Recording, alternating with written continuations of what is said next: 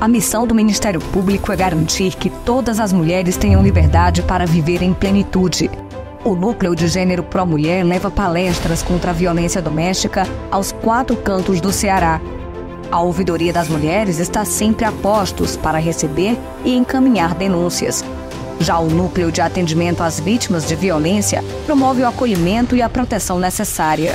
E quando os agressores ultrapassam os limites da lei, são as promotorias de combate à violência doméstica que entram em ação para que eles não fiquem impunes. Promover a dignidade das mulheres e o cumprimento da lei sempre será a nossa prioridade. Feliz Dia Internacional das Mulheres.